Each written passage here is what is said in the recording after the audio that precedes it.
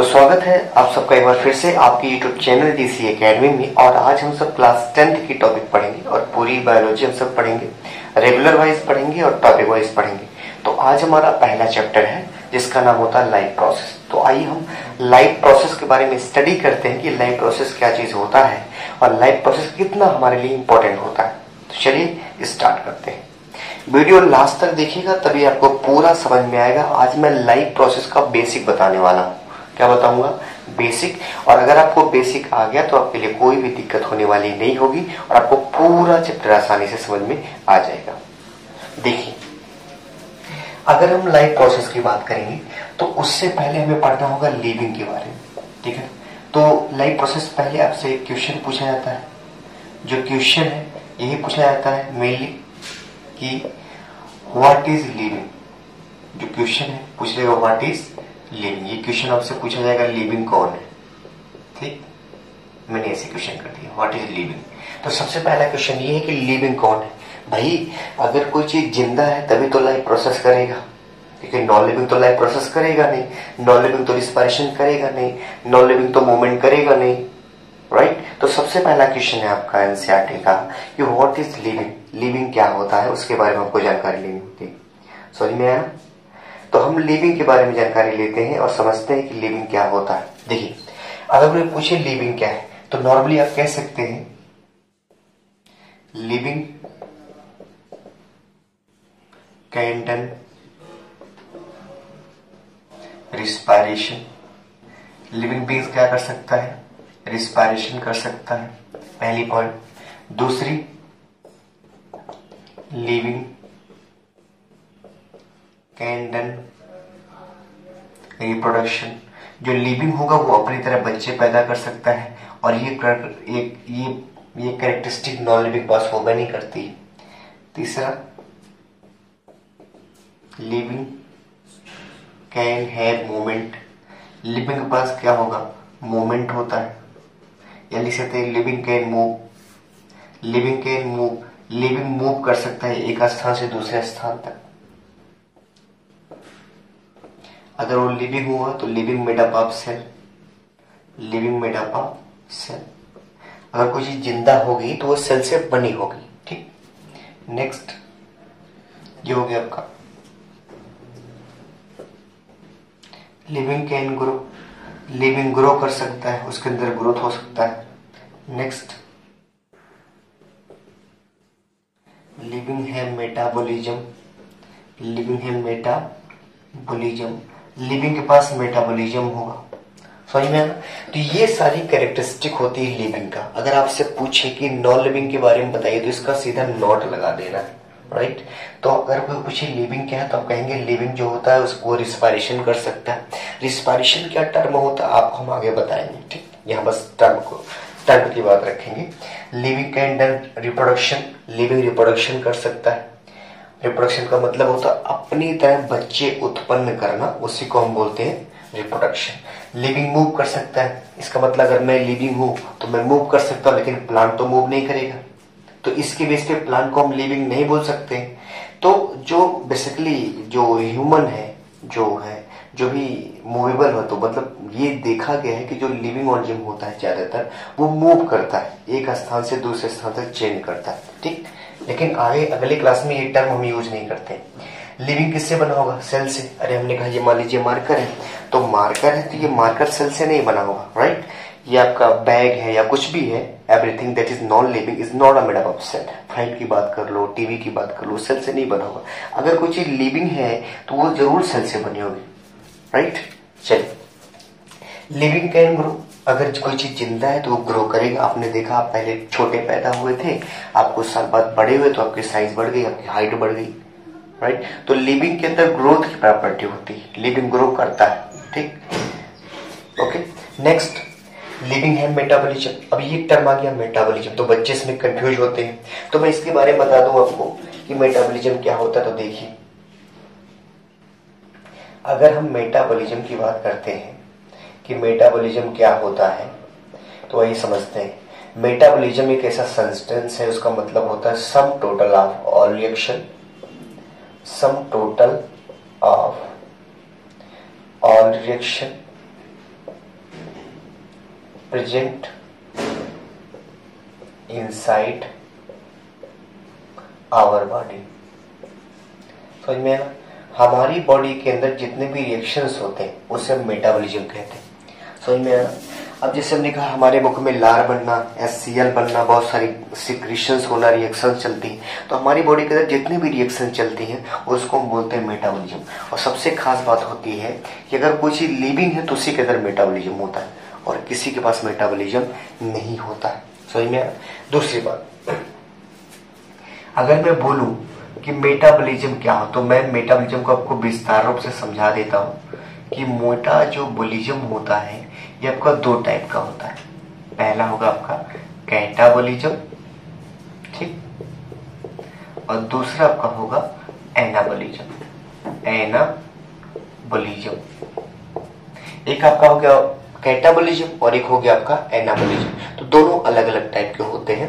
अच्छा अच्छा इसका एक ट्रिक भी मैंने बनाया है। जैसे मान लीजिए आपको ना याद हो ये फ़र्स्ट ईयर की टॉपिक है फ़र्स्ट ईयर में आपको पढ़ाया जाएगा जब आप बायोलॉजी लेंगे लिविंग वर्ल्ड का पहला चैप्टर में। तो इसका ट्रिक मैंने बनाया है, प्यार से देख लीजिए इसको। ट्रिक है इसको याद करने का। ए सी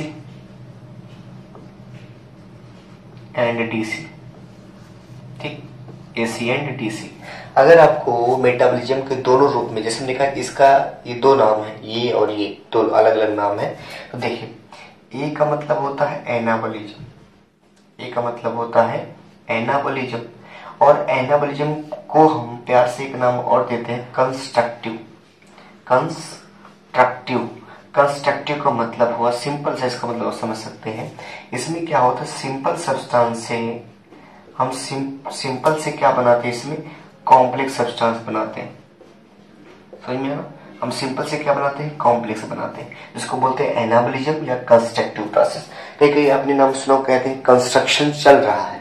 कंस्ट्रक्शन का मतलब सिंपल सब्सटेंस को जोड़ जोड़ के कॉम्प्लेक्स सब्सटेंस बन रहा है। समझ में आना तो हम कह सकते हैं कि anabolism known as constructive process इसलिए लिखा गया है ए सी डीसी का मतलब समझ सकते हैं तो सी का मतलब होता है कैटाबोलिज्म कैटाबोलिज्म और इसी का मतलब होता है डिस्ट्रक्टिव डिस्ट्रक्टिव और डिस्ट्रक्टिव का मतलब होता है कि किसी चीज़ का डिस्ट्रक्शन चल रहा है। डिस्ट्रक्शन का मतलब किसी चीज़ को तोड़ा जा रहा है। इसका मतलब यहाँ सिंपल से हमने कॉम्प्लेक्स बनाया है। तो यहाँ हम क्या करेंगे? यहाँ हम क्या करेंगे? कॉम्प्लेक्स को ब्रेक करेंगे सिंपल में। तो कॉम्प्लेक्स किसमें ब्रेक होता है? सिंपल में। उसे हम क्या बोलते हैं? उसे हम क्या बोलते हैं? उसे हम बोलते हैं कैटाबोलिज्म या डिस्ट्रक्टिव प्रोसेस तो अगर आपसे पूछे कि एनाबोलिज्म का दूसरा नाम क्या है तो आप कहेंगे कंस्ट्रक्टिव है। अगर आपसे पूछे कि कैटाबोलिज्म का दूसरा नाम है तो उसे बोलेंगे डिस्ट्रक्टिव है। छोटी सी बात है, उसमें कोई बड़ी बात नहीं। अच्छा आप कह सकते हैं, सर, इसका एक एग्ज़ाम्पल बता दीजिए। तो इसका एक एग्ज़ाम्पल आपका है, जिसका नाम होता है फोटोसाइंथेसिस नाम सुना होगा। तो आपसे कभी भी पूछिए, बताइए फोटोसाइंथेसिस कौन सा प्रोसेस है? तो आप प्यार से बोलेंगे, ये ये एनाबोलिक है या कंस्ट्रक्टिव प्रोसेस है, ठीक?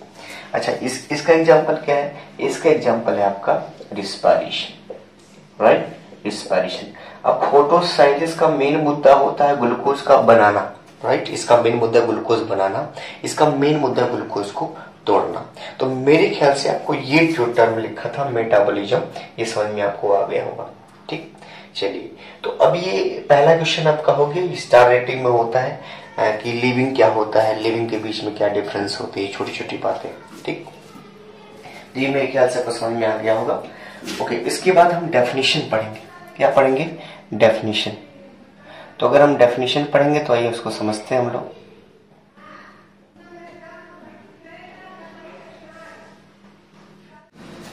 देखिए अब आपको क्या करना है? हमने आपको बताया लिविंग क्या होता है। अगर आपसे कोई पूछे कि लिविंग के बारे में आप क्या जानते हैं तो आप कहेंगे लिविंग वो होता है जो रिप्रोडक्शन करता है। लिविंग वो होता है जिसके अंदर ग्रोथ होता है। लिविंग वो होता है जो सेल से बना होता है। लिविंग वो होता है जो मूव कर सकता है। लिविंग वो होता है जो रिस्पायरेशन कर सकता है। लिविंग वो होता है जिसके पास स्क्रीशन हो सकता है। राइट वेस्ट मटेरियल को रिमूव कर सकता है। सॉलिड के फॉर्म में भी और लिक्विड के फॉर्म में भी। छोटी छोटी बातें। ठीक? आइए। तो अब हमें पढ़ना है लाइफ प्रोसेस क्या पढ़ना है? लाइफ प्रोसेस तो आइए लाइफ प्रोसेस की डेफिनेशन हम समझते हैं। देखिए लाइफ प्रोसेस का मतलब होता है, हिंदी में बोलेंगे तो उसका मतलब होता है जीवन क्रिया। तो हम सिंपली लिखेंगे कि बेसिक फ़ंक्शन लाइफ प्रोसेस की डेफिनेशन है basic function right perform by living organism perform by perform by living organism जिसकी डेफिनेशन है। To maintain their life on this earth यम या N maintain their life on this earth ये है आपकी definition ठीक है ना? तो लाइफ प्रोसेस की डेफिनेशन है। अब लाइफ प्रोसेस का मतलब क्या होता है, ये समझते हैं। जैसे हमने कहा, ये एक बार डेफिनेशन समझ लीजिए। लाइफ प्रोसेस का मतलब ये होता है कि जब कोई लिविंग ऑर्गेनिज्म चाहता है इस धरती पे जीने के लिए तो अगर उसको इस धरती पे रहना है तो उसको कुछ बेसिक फ़ंक्शन करना पड़ता है। मतलब उसको अगर अपनी बॉडी को इस धरती पे चलाना है। या इस धरती पर अगर उसको अपनी बॉडी को ज़िंदा रखना होता है तो उसको अपनी बॉडी के सिस्टम से सारे सिस्टम को एक साथ काम कराना पड़ता है। तब वो इस धरती पे ज़िंदा रह पाता है। जैसे हमने कहा, अगर आपसे पूछेगा कि बेसिक फ़ंक्शन में क्या आता है, पूछ सकता है। पूछेगा बेसिक फ़ंक्शन में क्या आपका आता है? तो बेसिक फ़ंक्शन में आपका आता है, जैसे मान लीजिए, पूछ लिया रिस्पायरेशन तो अगर कोई ऑर्गेनिक उसकी लाइफ प्रोसेस तभी चलेगी ना जब उसका रिस्पायरेशन सही से चलेगा। इसका मतलब लंग्स सही काम करना चाहिए मनुष्य का। क्या सही काम करना चाहिए? लंग्स फिर पूछेगा सर्कुलेशन कह सकता है। सर्कुलेशन तो सर्कुलेशन में कौन होता है? आपका हार्ट होता है। ये हार्ट है। ये सही काम करना चाहिए। आपसे पूछेगा स्क्रीशन स्क्रीशन तो स्क्रीशन में कौन आता है? मेनली तो भाई किडनी आती है। और फिर होगा डाइजेशन। और डाइजेशन में आपका क्या आता है? डाइजेस्टिव सिस्टम आता है। डाइजेस्टिव सिस्टम आता है।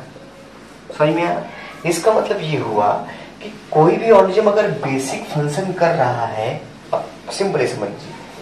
अर्थ पे क्या आ रही है? Life, right? तो कोई भी लिविंग ऑर्गेनिज्म है, अगर वो मेंटेन करता अपनी लाइफ को धरती पे तो क्या करके, कब, कैसे मेंटेन होगा उसकी लाइफ बेसिक फ़ंक्शन परफॉर्म करके। अब बेसिक फ़ंक्शन क्या है उसका? रिस्पायरेशन है सर्कुलेशन है स्क्रीशन है डाइजेशन है। तो ये उसके बेसिक फ़ंक्शन है। अगर मान लीजिए रिस्पायरेशन चला स्क्रीशन चला डाइजेशन चला, और सर्कुलेशन नहीं चल रहा है तो क्या वो ऑर्गेनिज्म अपनी लाइफ प्रोसेस चला पाएगा? नहीं चला पाएगा। उसको बीमारी हो जाएगी, कुछ देर उसकी मौत हो जाएगी। मर जाए सिंपल सी बात, समझ में तो इसका मतलब होता है बेसिक फ़ंक्शन तो सिंपली कह सकते हैं कि जब कोई ऑर्गेनिज्म चाहे वो प्लांट हो, चाहे एनिमल हो, वो एक स्पेशल क्रियाएँ करता है अपने बॉडी के अंदर करे अपने सिस्टम को चलाने के लिए, उसे बोलते हैं लाइफ प्रोसेस तो सिंपली कह सकते हैं लाइफ प्रोसेस क्या है? लाइफ प्रोसेस एक तरह का ऐसी प्रक्रिया है जिसमें ऑर्गेनिज्म कुछ ऐसे स्पेशल फ़ंक्शन करता अपने अंदर, जिसके कारण वो इस धरती पे ज़िंदा रहता है। और वो बेसिक फ़ंक्शन क्या होते हैं? रिस्पायरेशन सर्कुलेशन स्क्रीशन और डाइजेशन राइट यही चीज़ हमें पढ़नी होती है इस पूरे चैप्टर में लाइफ प्रोसेस में।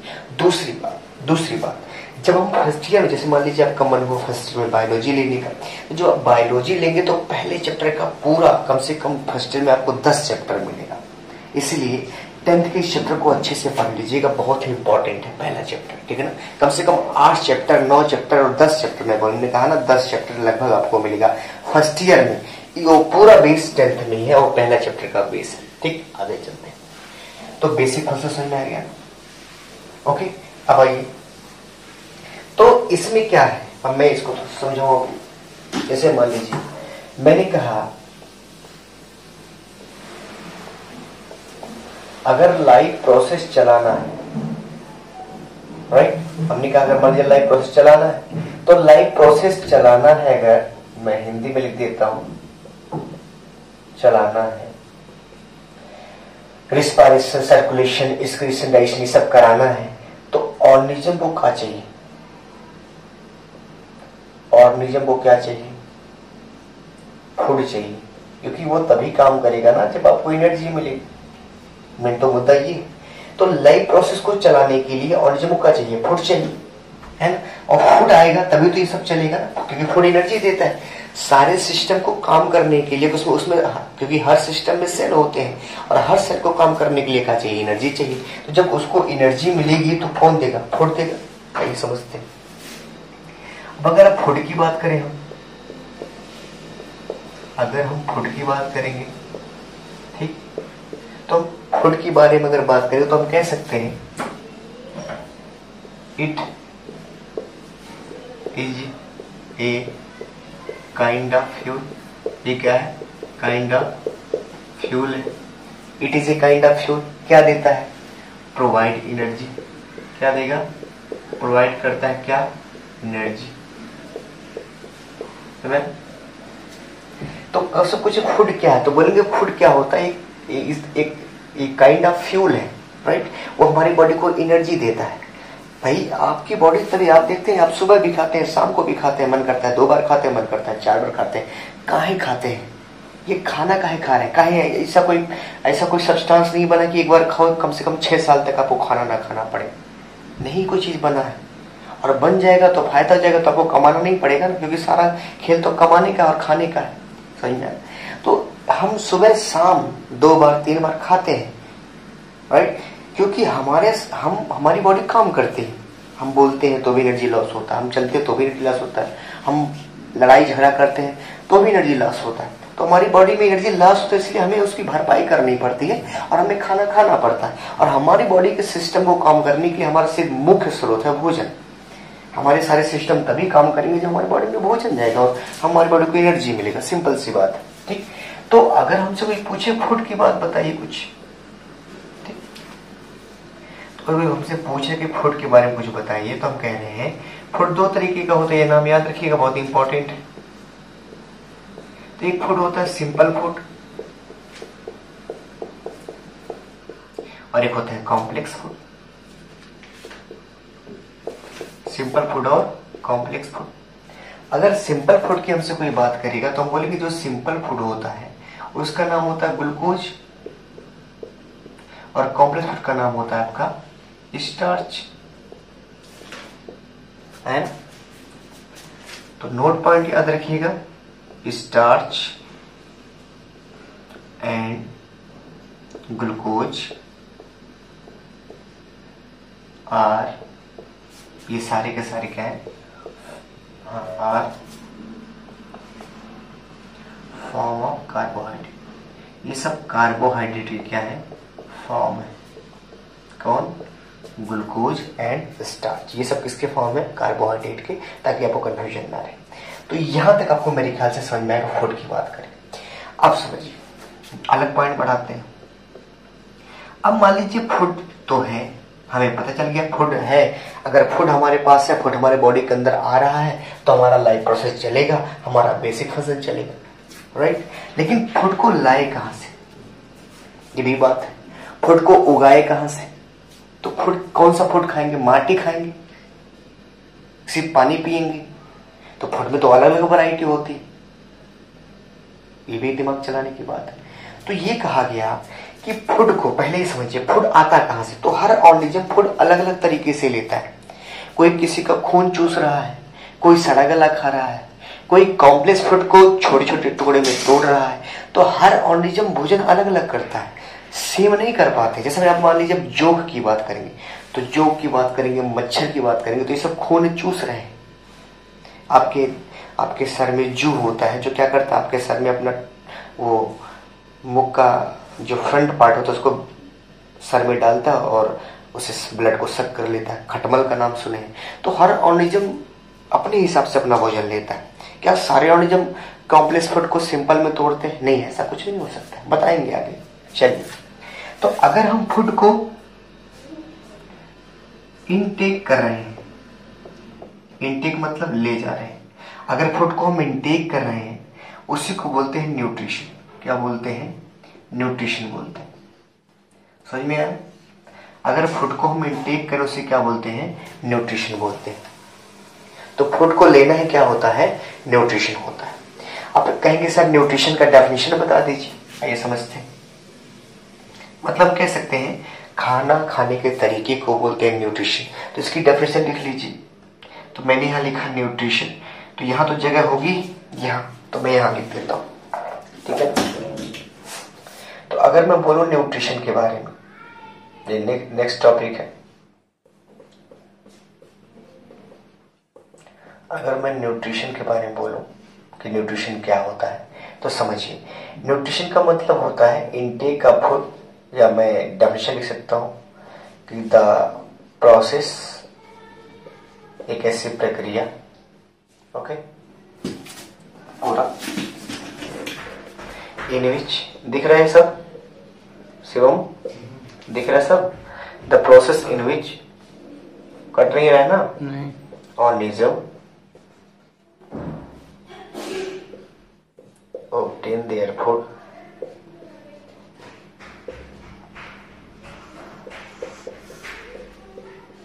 है ना? The process in which organism obtain food obtain नहीं इनटेक लिखेंगे। Intake food in their body in their body हो गया। यहाँ लिख दें। And intake their body for growth development and अगले लिख देता हूँ सोर्स ऑफ़ एनर्जी समझ में आना सिंपल सिंपल इसका मतलब आप भोजन क्यों करते हैं? तो डेफिनेशन लिखा गया है कि न्यूट्रिशन एक ऐसी प्रोसेस है जिसमें ऑर्गेनिज्म क्या करता है? भोजन को लेता है, अपने बॉडी के अंदर लेके जाता है। किस लिए? ग्रोथ के लिए डेवलपमेंट के लिए और सोर्स ऑफ़ एनर्जी के लिए। तो मैं कह सकता हूँ कि न्यूट्रिशन का मेन मुद्दा है भैया गड्डी। क्या मुद्दा है मेन गड्डी। तो न्यूट्रिशन जब जब आएगा तो गड्डी लेके आएगा। अब नोट की गड्डी तो हम कह नहीं रहे जी का मतलब होता है ग्रोथ डी का मतलब डेवलपमेंट और ई का मतलब एनर्जी तो न्यूट्रिशन का मेन मकसद होता है कि ऑर्गेनिज्म का ग्रोथ कराना, उसका डेवलपमेंट कराना, और उसके अंदर क्या देना? एनर्जी देना. ये छोटी सी बात है. तो ये रही न्यूट्रिशन की डेफिनेशन अब हम न्यूट्रिशन का फ्लो चार्ट पढ़ेंगे. कि न्यूट्रिशन कितने टाइप का होता है, क्योंकि हर ऑर्गेनिज्म अपना खाना अलग तरीके से लेता है। हमने बताया ये चीज़। तो सिंपल से लेके कॉम्प्लेक्स तक चलेंगे प्लांट को इसमें इन्वॉल्व करेंगे। ठीक है? चलिए ओके इसका पहले फ़ोटो लेना पड़ेगा। चलिए। तो हमसे ये देखिए, ये रहा न्यूट्रिशन का फ्लो चार्ट तो न्यूट्रिशन कितने टाइप का होता है? ठीक? तो मैं यहाँ बना रहा हूँ। न्यूट्रिशन का पहला होता है ऑटोट्रॉपिक न्यूट्रिशन और इसमें दूसरा होता है आपका हेट्रोट्रॉपिक न्यूट्रिशन हेट्रोट्रॉपिक न्यूट्रिशन ये नाम होता है। तो पहला होगा ऑटोट्रॉपिक दूसरा होगा हेट्रोट्रॉपिक न्यूट्रिशन राइट अब ऑटोट्रॉपिक ऑटोट्रॉपिक का मतलब क्या होता है? ऑटोट्रॉपिक का मतलब होता है कि जो अपना भोजन खुद बना ले right the organism which make their own food heterotrophic मतलब होता है the they can not make their own food simple सा टर्म आया? अब ऑटोट्रॉपिक में क्या होता है? ऑटोट्रॉपिक ये हेटरोट्रॉपिक अब देखिए इसमें मैं डिवीज़न कर रहा हूँ. इसमें होगा ए उसका नाम होगा फोटोसाइंथेसिस फ़ोटो साइंथेसिस और बी होगा कीमोसाइंथेसिस। Chemo synthesis. ये नाम। इसका एग्ज़ाम्पल भी बता देता हूँ कॉमन करेगा इसमें आपका आएगा अलगा प्लांट यूग्लिना। ठीक है या इसमें लिख सकते हैं आप ऐसे ग्रीन प्लांट की बात करेंगे। ग्रीन प्लांट, और इसमें लिख सकते हैं युगलेना और एक है साइनो बैक्टीरिया जो तरह का क्या है आपका? हल्का नहीं आता है ठीक। इसका लिख लेंगे केमोसाइजिस का।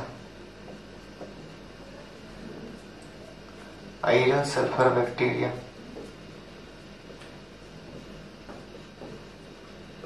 ये सब बैक्टीरिया होते हैं जो केमोसाइंथेसिस करते हैं। अब इसका मतलब क्या होता है? तो ऑटोट्रोपिक में दो लोग होते हैं, जो लाइट के प्रेजेंस में अपना भोजन बनाते हैं। इसको मैं पूरा बताऊँगा। बस अभी आपका माइंड मैप है। जो लाइट के प्रेजेंस में अपना भोजन बनाते हैं, उसे बोलते हैं फोटोसाइंथेसिस और जो केमिकल के प्रेजेंस में अपना खुद का भोजन बनाते हैं, उसे बोलते हैं क्या? केमोसाइंथेसिस कहते हैं। ठीक? हीटोट्रॉपी में कितना आता है? हीटोट्रॉपी में आपका कितना आएगा? तीन आएगा। ए बी और सी पहला आएगा आपका पैरासाइट या मान लीजिए पहला आपका मैं रखता हूँ सेप्रोफाइल सेप्रोफाइल तो ये क्या करते हैं? डेड डिकाइंग मतलब सड़ा गला चीज़ों को खाते हैं। मतलब प्लांट सड़ गया हो एनिमल सड़ गया हो, है ना? तो ये सेप्रोफाइट होते हैं। इसमें एग्ज़ाम्पल आपका आता है, ज़्यादातर फंजाई फंजाई में कौन आएगा आपका? ईस्ट आएगा, मशरूम आएगा। ये सब अलग अलग नाम होते हैं, है ना? मकर आएगा। तो ये सेप्रोफाइट होते हैं जो सड़ा गला खाते हैं। इसके बारे में डिफाइन मैं सबके, सबको करूँगा, आपको कोई दिक्कत नहीं आएगी। फिर आएगा आपका पैरासाइट। पैरासाइट वो होते हैं जो किसी भी ऑर्निजम को खाते हैं, किसी भी ऑर्निजम से अपना भोजन तो लेते हैं, उसको मारते नहीं, जैसे मच्छर। मच्छर हमारी बॉडी पे अटैक करता है और अटैक करने के बाद हमारी बॉडी से ब्लड लेता है राइट हमें मारता नहीं, ऐसे जोंक है, ऐसे अपने ढीलों का नाम सुना होगा खटमल का नाम सुना तो खटमल क्या करता है? आपकी बॉडी में अपना नोड इंसर्ट करेगा, वहाँ से ब्लड ले लेगा। आपको मारता नहीं तो वो पैरासाइट है। तो एग्ज़ाम्पल इसमें कौन है? लीच आता है। टिपोवार्म आता है। ये सब नाम है। इसमें मॉस्किटो आता है।